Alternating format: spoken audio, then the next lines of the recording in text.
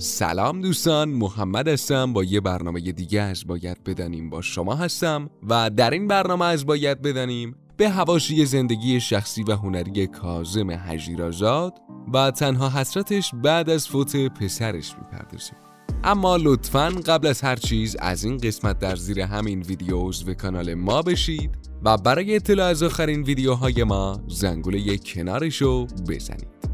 اوایل شهریور امسال بود که کازم حجیرازاد به سوگ درگذشت پسرش بر اثر کرونا نشست.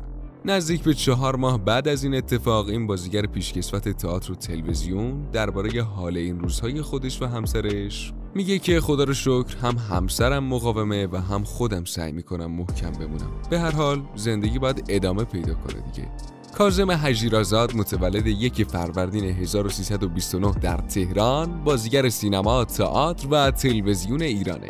ایشون تا سال دوم هنرستان صنعتی تحصیل کرد تا اینکه وارد عرصه تئاتر شد. ایشون دانش آموخته لیسانس بازیگری از هنرکده آناهیتاست و همسری بازیگر داره. ایشون سال دوم هنرستان صنعتی تهران توی تابستون سال 1349 برای فرا گرفتن هنر بازیگری به هنرکده آزاد هنرپیشگی آناهیتا رفت و در چندین نمایش صحنه‌ای و تلویزیونی با گروه آناهیتا شاگردی و بازی کرد. ایشون میگه سال 61 ناگزیر از گروه جدا شدم و به صورت آزاد توی گروه های مختلف تهران و نیز در تلویزیون و سینما به همکاری و بازی پرداختم که این همکاری در این سه هنوزم ادامه داره. ایشون میگه نخستین بار با صحنه تئاتر حرفه‌ای و تماشاگر حرفه‌ای که بلیت خریده بود تا نمایشی رو از گروه معروفی که از تهران اومده بود ببینه تجربه کردم. این حضور آینده منو رقم زد. این بازی در پی چند ماه آموزش به عنوان شاگرد هنرپیشه با گروه آناهیتا به سرپرستی و رهبری مصطفی اسکویی توی سالن دبیرستان حراتی اصفهان در پاییز سال 49 بود. بعد از خدمت سربازی 23 سال کارمند وزارت راه توی قسمت فنی شد. اما چون نمی‌تونست بازیگری رو کنار بذاره بازی توی تئاتر، تلویزیون و سینما رو توی برنامه زندگیش قرار داد. ایشون بعد از انقلاب توی سال 1364 با سریال هوای تازه به بازیگری برگشت و از سال 1367 توی 38 سالگی با فیلم توفه ها به کارگردانی ابراهیم وحیدزاده بازی کرد. شروع فعالیت ایشون در تلویزیون در سال 1350 زمانی که 21 سال بیشتر نداشت با حاضر بودن در سریال تلویزیونی سه قسمتی رستم و سهراب اولین و آخرین تجارب هنرپیشگیش رو در تلویزیون قبل از انقلاب رقم زد. همونطور که گفتیم ایشون پس از انقلاب در سال 1364 با سریال هوای تازه به هنرپیشگی برگشت و توی سال 1367 در حالی که 38 ساله بود با فیلم تحفه ها با ساخته ابراهیم وحیدزاده ایفای نقش کرد آقای کازم حجیرازاد سالهاست با خانم زویا امامی ازدواج کرده ثمره این زندگی دو تا پسر به نامهای آرش و آرمان پسر بزرگش آرش موزیسین و مدرس پیانوه و آرمان پسر دیگهش هم دانش آموخته تار و ستار بود که در شهریور سال 1400 متاسفانه بر اثر بیماری کرونا درگذشت. ایشون در مورد نقد تئاتر و مسائل مربوط به سنف تئاتر نوشته های پراکنده در مطبوعات به چاپ رسونده و همکنون هم عضو هیئت مدیره انجمن بازیگران خانه تئاتر. ایشون گفته که از همون ابتدا که وارد بازیگری شدم نقشای سنگین و جدی به من دادن. اما نقشای کمدی رو خیلی دوست دارم و باید توی این مسیر خودم رو آزموده کنم. احساس می‌کنم که هنوز من توی میانه های راه هستم.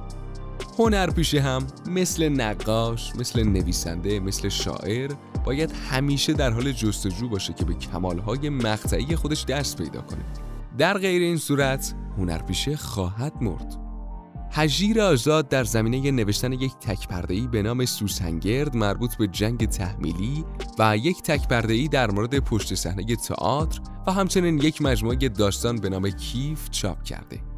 کازم هجیرآزاد درباره ورود هنرپیشگان سینما به تئاتر بیان کرده شاید ماجرای مثبتی پیش اومده که هنرپیشگان شناخته شده سینما به کادر تئاتر میان و این می‌تونه ارزش تئاتر رو به خوبی نشون بده. میشه این ماجرا رو یک تجربه دو سر برد بیان نمود.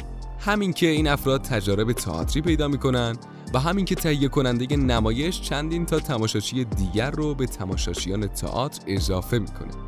بعضی ها هم وجود دارن که می‌خوان دیگر هنرپیشگان رو پایین بکشن و خودشون شناخته بشن که این غرور و خودخواهی های هنریه. از دیگر آثار آقای هجیرازاد می‌تونیم به سریال مختارنامه و هوش سیاه و تنها ترین سردار اشاره کنیم. کازم هجیرازاد بازیگر شناخته شده تئاتر، سینما و تلویزیون که با نقش حاج مزفر توی سریال زخمکاری به کارگردانی محمد حسین مهدویان توی شبکه نمایش خانگی بازی می‌کرد متاسفانه پسرش رو به علت ابتلا به کرونا از دست داد. پسر ایشون آرمان هجیرازاد بود و آقای کازم هجیرازاد اوایل شهریور امسال بود که به سوگ درگذشت پسرش در اثر کرونا نشست. ایشون بعد از این اتفاق تاکید می‌کنه که تنها حسرتم اینه که ای کاش پسرم واکسن زده بود که متاسفانه اون زمان نوبت واکسنش نرسیده بود. یک تصویر تلخ از ایشون بر بالین پسر فوت شدهش که در حال تماشاش بود مدت توی فضای مجازی دست به دست می‌شد. توی اون دوران تلخ سایه کرونا روی مردم و جامعه هنری متاسفانه کاری از دست عزیزترین های خانواده هم بر نمی اومد و فقط باید نظارگر پرپر شدن عزیزانمون می بودیم با عرض تسلیت دوباره به این بازیگر پیشکسوت و آرزوی صبر برای این خانواده هنرمند.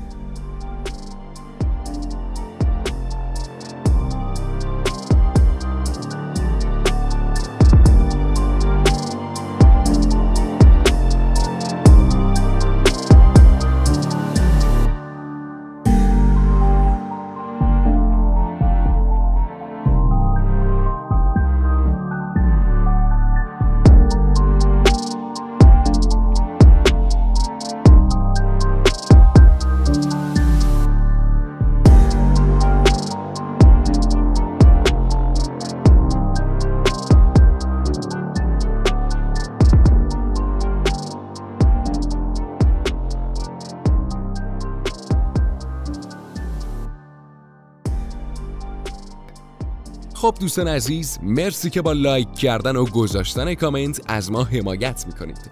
اگه به برنامه های ما علاقه مندید می‌تونید از زیر همین ویدیو و از طریق دکمه subscribe عضو کانال ما بشید و با زدن علامت زنگوله کنار اون اولین نفر از ویدیوهای ما با خبر بشید. تا برنامه بعد خدا یار و نگهدارتون.